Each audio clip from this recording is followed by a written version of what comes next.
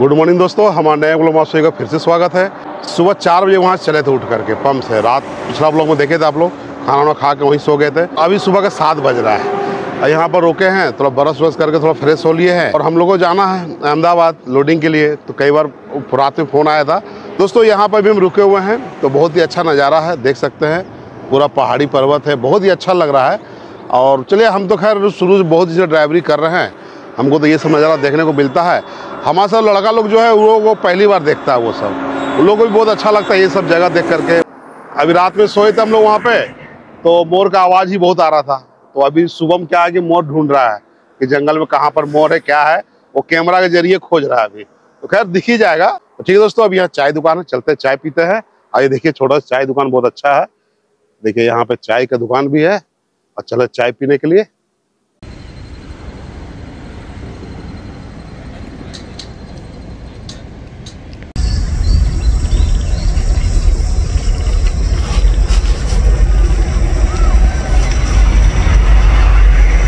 दोस्तों, अभी हम लोग गुजरात इन कर चुके हैं। और बहुत ही अच्छा लगा कि फोर लाइन में चलते चलते मतलब सिर्फ़ ब्रेकेट दिखाई दिया कि हाँ वहाँ से उधर से राजस्थान था, वहाँ ब्रेकेट लगा हुआ था, फिर पार किए, वहाँ से गुजरात एरिया चालू हो गया। मतलब गाड़ी वाला को कोई रोकना नहीं, कोई परेशानी नहीं, कुछ नहीं। तो ये सब चीज़ अच्छा लगता है। हिंदुस्तान में तो भाई है ही हम लोग। हिंदुस्तान का गाड़ी है। तो बॉर्डर का कई स्टेट में ऐसा है, ये फ़ाइल लेके जाओ वहाँ को दक्षिणा दो तो ये सब चीज़ होता है। और यहाँ देखिए, कोई मतलब नहीं। जान रहा इंडिया का गाड़ी है, इंडिया में ही चलेगा और कहाँ चलेगा। हाँ चेक इन होना चाहिए। ये हम नहीं करें चेक इन नहीं होना चाहिए। शक के आधार पर चेक भी होना चाहिए कि क्या माल लेके जा रहा क्या नहीं। ये भी ज़रूरी है। और दोस्तों, अभी हम पीछे रुके थे एक जगह चाय पीने के लिए। तो देखे टायर दुकान वगैरह सब बंद है। तो हम पता किए भाई, टायर दुकान वगैरह बंद क्यों है?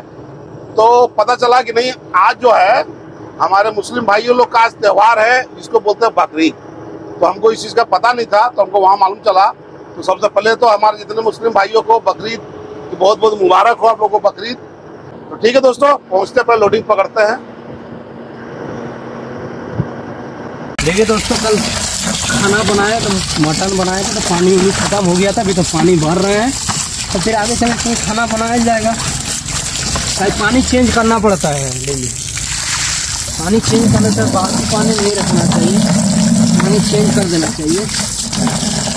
देखिए दोस्तों, दोपहर का बारह बज रहा है अभी, और अभी हम लोग खाना बना रहे हैं, रोटी, सब्ज़ी लेंगे। आगे होटल तक आए, आज हड़बड़ी है जाना, पहुँचना भी पड़ेगा, अहमदाबाद।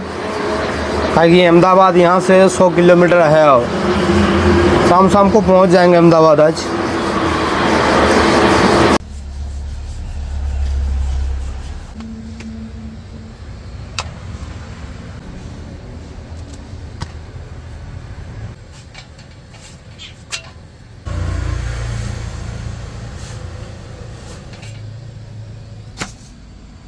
देखिए दोस्तों, अभी तो हम लोग रोटी बना लिए हैं। जा रहे हैं सब्ज़ी लेने के लिए। कौन सा सब्ज़ी देख रहे हैं, बढ़िया लगेगा, वो यही लेंगे। अभी जा रहे हैं बगल में होटल है ढाबा। वहीं पे सब्ज़ी लेने के लिए जा रहे हैं। दोस्तों, अभी हम लोग रुके ढाबा पे खाना खाने के लिए। तो रोटी तो गाड़ी में बना लिए थे, और क्या ना कि दाल मंगाए वही दिया था दाल लाने के लिए। तो कारण क्या है कि समय का थोड़ा बचत कर रहे हैं। इधर मतलब जब यहाँ घुसे, तभी यहाँ हमको धूप देखने को मिला थोड़ा देर। अभी फिर जाकर के अभी थोड़ा मौसम चेंज हो गया है। हो सकता है बारिश हो।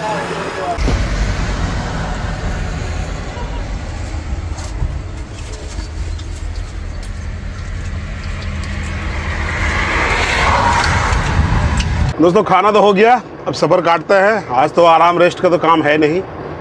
दोस्तों, अभी देख सकते हैं यहाँ कैसा मौसम बना हुआ है। पूरा गजब ठंडा टाइप का है एकदम। एकदम दिख ही नहीं रहा कुछ रोड एकदम कुहासा टाइप का लग रहा है यहाँ। थोड़ा बारिश भी हुआ। ये देखिए दोस्तों, अभी यहाँ फैक्ट्री से उतना मतलब धुआँ फेंक रहा है। देख सकते हैं आप लोग। बहुत ज़बरदस्त, पूरा कुहासा नहीं कर देता है। हम सोचे थे दूसरा कुछ इनके कि धुआँ है पूरा।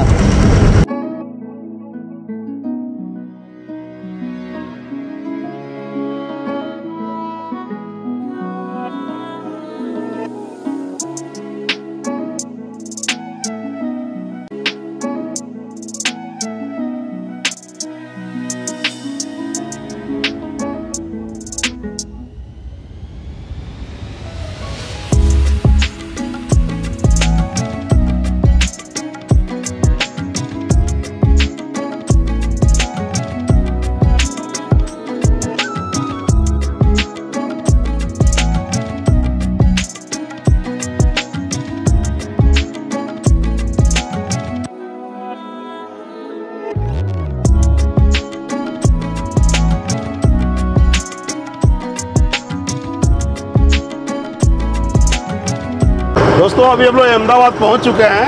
अहमदाबाद में क्या है ना कि बाईपास बना हुआ है रिंग रोड है, पूरा राउंड उसी पे अब बाईपास भी कोई सिटी से कम नहीं है, लेकिन यही फ़ायदा है कि फोर लाइन बना हुआ है। नीचे से ब्रिज है, नीचे से छोटा गाड़ी सब है, सब बना हुआ है। तो बहुत ही अच्छा शहर है, बहुत ही खूबसूरत शहर लग रहा है देखने में।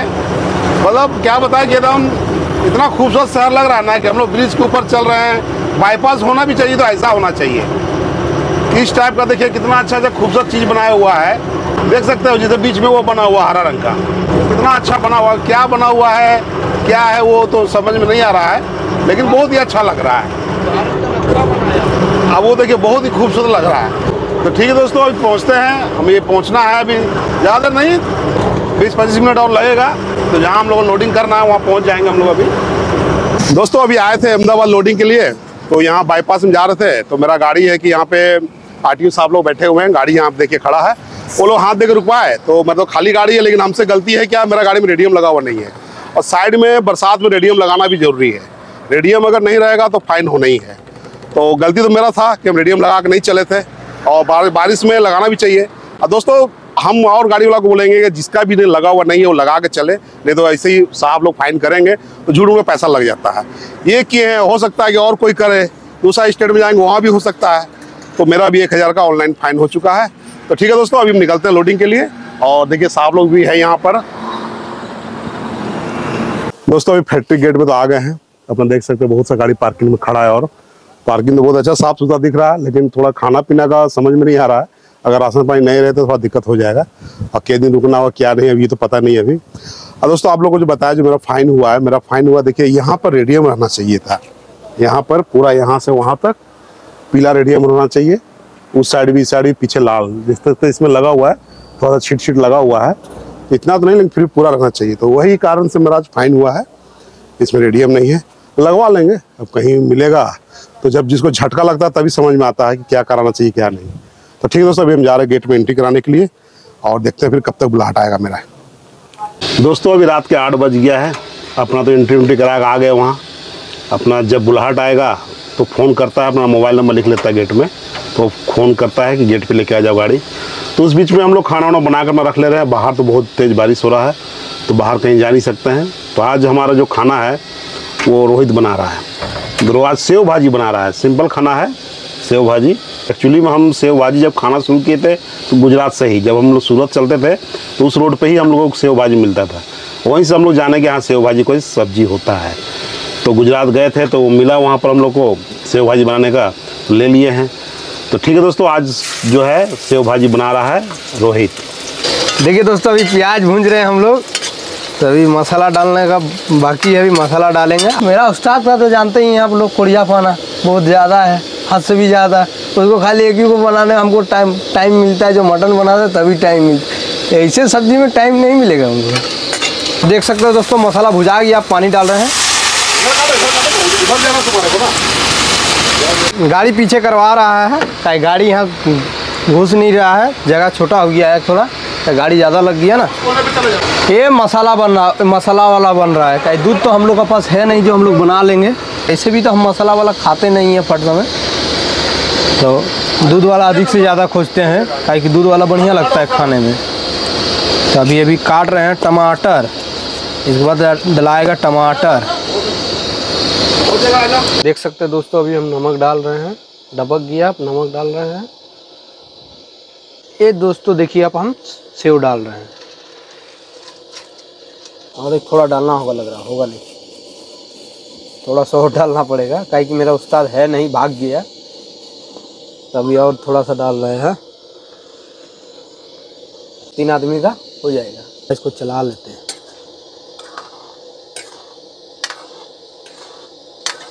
दोस्तों, अभी रात के दस बज चुका है और हम लोग चले खाने के लिए। ये देखिए हमारा सेव भाजी आज बनाया है रोहित।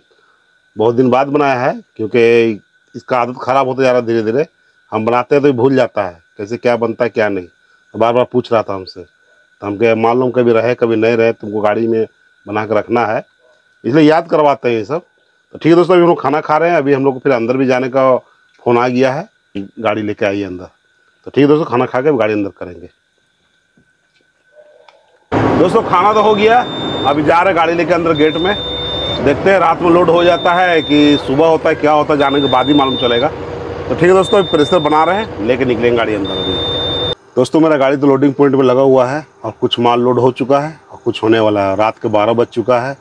तो कागज़ वगैरह जो भी है सिस्टम हो सकता है कि गाड़ी यहाँ से लोड करके बाहर पार्किंग में लगाएँगे, या अंदर में ही खड़ा करेंगे। ट्रांसपोर्टर है बिल्डिंग चलान बनाएगा तो वो छोड़ेगा।